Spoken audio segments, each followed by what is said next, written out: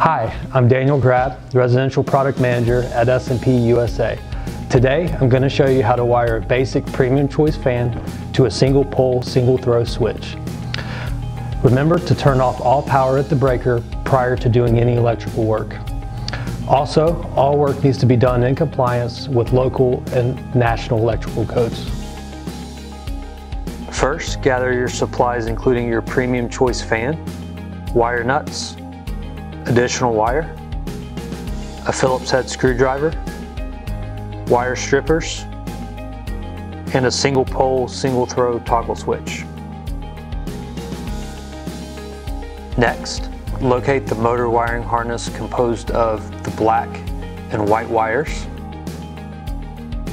It will be labeled as motor.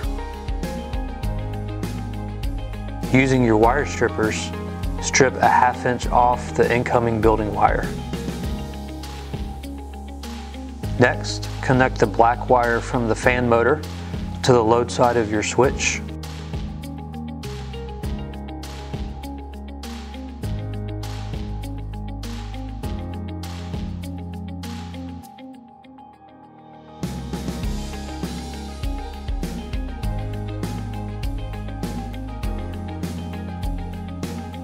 Then, attach the hot supply wire to the line side of the switch. Use your Phillips head screwdriver to ensure the connection is tight.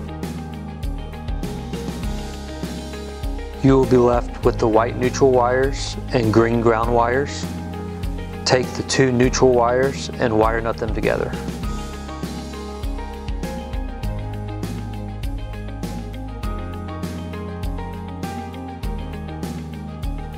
Lastly, wire together the ground wires.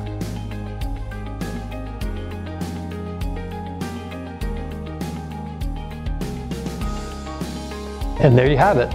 We just wired up your basic premium choice fan to a basic switch. I'm Daniel Grab with S&P. Good luck with the project.